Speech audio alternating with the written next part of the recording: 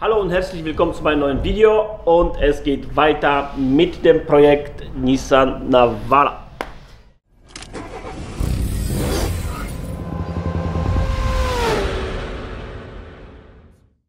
So, meine Jungs, waren fleißig, wo fangen wir an? Haubenaufsatz ist schon fertig. Jetzt haben wir es äh, dran geklebt, ja, an, an die Motorhaube. Warum? Weil, äh, wenn man so viel Spachtel äh, nutzt, ja, äh, für den Prototypen, es kann sein, Spachtel arbeitet auch, dass wenn das beim, beim Trocknen sich verzieht, ja, dann hat man das so oder so oder so, ja. Deswegen haben wir es festgeklebt für ein paar Tage. Der Lufteinlass bleibt jetzt, ähm, ja, so drei, vier Tage am Auto dran, damit nichts passiert mit dem, äh, dass er sich nicht verbiegt. Ne? So, Grill. Schau mal her. Meine Jungs haben das soweit vorbereitet. Das ist wieder dieser Schaumstoff, was ich gesagt habe. Ne? Kann man gut schleifen und so weiter. Das kennt ihr von einem anderen Video. Jetzt hat er sich im Prinzip so Streben gebaut, die hier auch reinkommen. So. Fertig. Mehr oder weniger. Kommt her. Hier, diese Stellen, wenn wir so ein bisschen abändern, dass wir hier so Luftanlässe machen. Ja, so ein bisschen, weil das ist technisch äh, ein bisschen anders als gedacht, weil der Grill geht ja hier, ja, also im Prinzip muss der hier komplett verlängert werden. Wenn wir das so bauen, müsste jeder Kunde quasi die Stoßstange hier abschneiden. Das will ja nicht jeder Kunde machen. Deswegen machen wir es nicht. Ja, lassen wir es so ungefähr wie das ist. Hier wird das alles so schön noch, äh, ich sag mal, hier abgeschrägt, dass es gut aussieht. Ne? Ja, so viel zum Grill. Bei dem Frontspoiler haben wir auch schon, vielleicht gehst du auch mal darüber, Oli, kannst du ein bisschen besser sehen. Diese Klötze, die beiden sind schon fertig, fertig, die beiden sind schon fertig.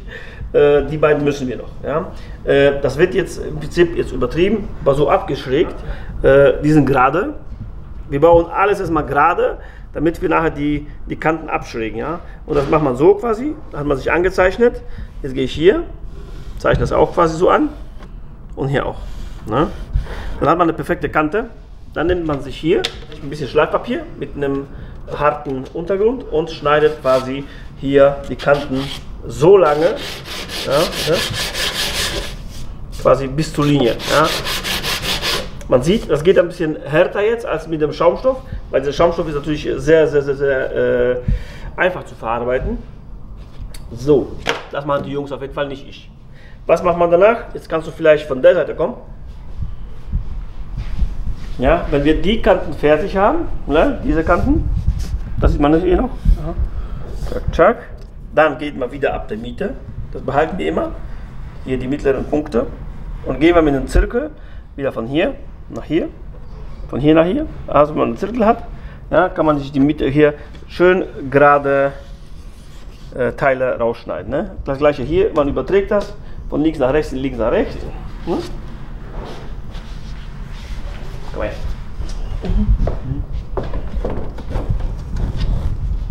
So. Sagst du? Ja, sieht geil aus. Gut aus? Mhm. Ja. Jetzt kommen hier noch, für diese Leuchten, kommen hier so schöne Dinger, so Halter. Weil das ist nicht schön, guck mal. Ja. Wenn man so Mhm. die montiert, sieht das nicht schön aus. Deswegen machen wir hier so schön, dass, das nicht, dass die einfach nicht in der Luft hängen. Ne? So, check. Ja, Noch was fertig? äh, ja Heckspoiler. Komm. Jetzt kann man sehen, das habe ich wieder aufgeklebt, ja, mit dem Heißkleber, dass der wirklich an der Karosserie richtig gut dran liegt, weil, wie auch vorne bei dem Lufteinlass, hier bzw. dem Haubenaufsatz, muss das alles äh, so drei, vier Tage ruhen, damit sich das nicht so verzieht. Weil wenn er sich verzieht, wird es schwer, den äh, wieder dran zu bekommen. Ne? Also der ist soweit fertig, dann geht es zum Lackierer und wird äh, gefüllert, gespachtelt, gefüllert, gespachtelt, bis das eine wirklich sehr, sehr, sehr glatte Oberfläche ist.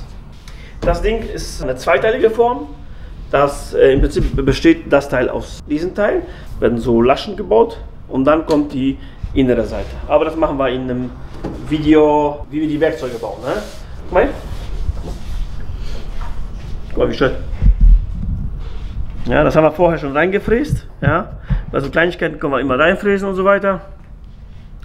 Ja, so nicht anders.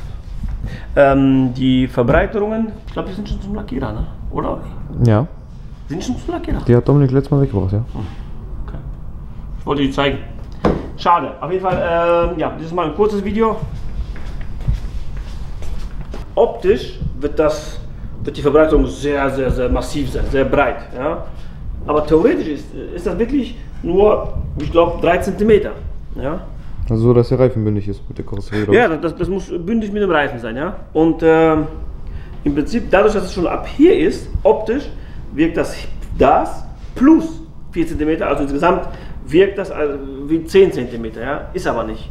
Ja, das ist nur optische Täuschung. Das hat bullig aussieht, aber nicht zu breit ist, weil äh, ich glaube, diese Stollenreifen sind schon sehr, sehr, sehr, sehr breit und wohin soll man äh, in die Breite gehen? Das wird dann nachher unfahrbar. Deswegen machen wir das nicht zu breit, nur optisch breiter. Ne? So. Check. Schau mal. Finde ich cool. Ich freue mich, wenn er fertig ist. Ich bin ein kleiner Monster. Hier haben wir schon vorbereitet. Gerade mitgebracht, wollte ich sagen. Und zwar sowas. Wenn man die, ich bin mal ein bisschen hier, wenn man die zusammen macht, das sind sehr, sehr, sehr hochwertige Leuchten. Also das ist kein, ähm, das sind keine Teile aus China. Ja, jetzt natürlich durch die Kabel ist das ein bisschen sehr kompliziert, die gerade zu halten. Aber so ungefähr. Ja, die Dinger, so ungefähr, so kleinen Stufen und so weiter, kommen aufs Dach. Das kann man ah, hier. Das kann man hier sehen. Wir wollten zuerst als ein Stück, aber jetzt haben wir gedacht, weißt du was, damit das so ein bisschen besser aussieht, also ein bisschen anders, bauen wir so kleine Würfel, fünf Stück. Ist eins, zwei, vier, genau, fünf Stück. So sieht's aus, unser Projekt Nissan Navara. Wenn ihr was sehen wollt, ne, was auch immer, wie wir was bauen oder sowas, fast alle sagen wir euch, wir äh, sagen äh, oder zeigen nicht wirklich hundertprozentig, wie das alles funktioniert, weil sonst wäre es keine Kunst für jeden anderen, äh, das selber zu bauen. Also zu 90% zeigen wir, 10% behalten wir für uns. Also die Endtipps und Tricks, die wir haben. Mit der Verbreiterung ein bisschen schade, weil die sind schon beim Lackierer und werden schon lackiert. Warum werden die Teile lackiert? Hm, Das muss ich euch ein bisschen äh, zeigen, wenn wir die Werkzeuge bauen, weil wenn wir zum Beispiel äh, von so einem Teil oder von dem Teil, auch hier, im Prinzip ist, ist es schon, wenn man mit 3000er äh, Nasspapier schleifen würde, würden die Teile glatt sein, aber die Werkzeuge glänzen nicht so. Ja, ich weiß nicht, wieso das so ist, aber das ist so. Das kann mir bis heute keiner erklären. Vielleicht weiß das jemand äh, von meinen äh, Abonnenten, warum das so ist. Wenn wir ein, von einem lackierten Teil Werkzeug bauen, glänzt die Form.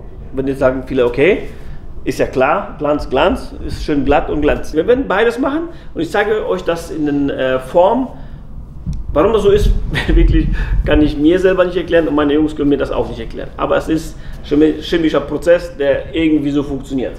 Wenn man das wirklich sauber, sauber arbeitet, kann man die Teile äh, mit dem Gelcoat, also mit dieser Farbe, was man anstreicht beim Produzieren, schon in, einem, in, einem, in einer Wagenfarbe sogar bestellen. Ja? Wir, wir holen das nachher aus, dem, aus der Form raus, wenn wir das entformen, wenn das wirklich sauber gearbeitet ist, also Picobello, brauchen wir es gar nicht zu lackieren. Es gibt zum Beispiel Krankenwagen, ja, äh, und so weiter. Die werden, die werden gar nicht mehr lackiert. Die sind schon, ich sag mal, in den Farben, äh, was ein Kra- Krankenwagen hat, orange, weiß und so weiter, ist schon in der Rallfarbe von dem Krankenwagen, ja. Und deswegen, ja.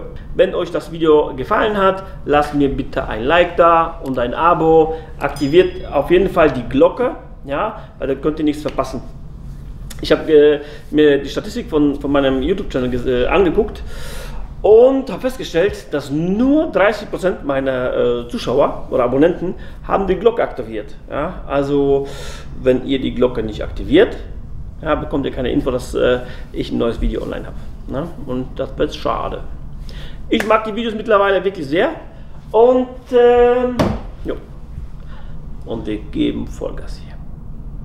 Also wir werden jetzt, äh, ja, nicht alle Projekte, aber fast alle Projekte, die wir so dieses Jahr machen werden, mit einer Videokamera begleiten. Und ja, ich freue mich drauf. Vielen Dank fürs Zuschauen. Bis dann. Ciao.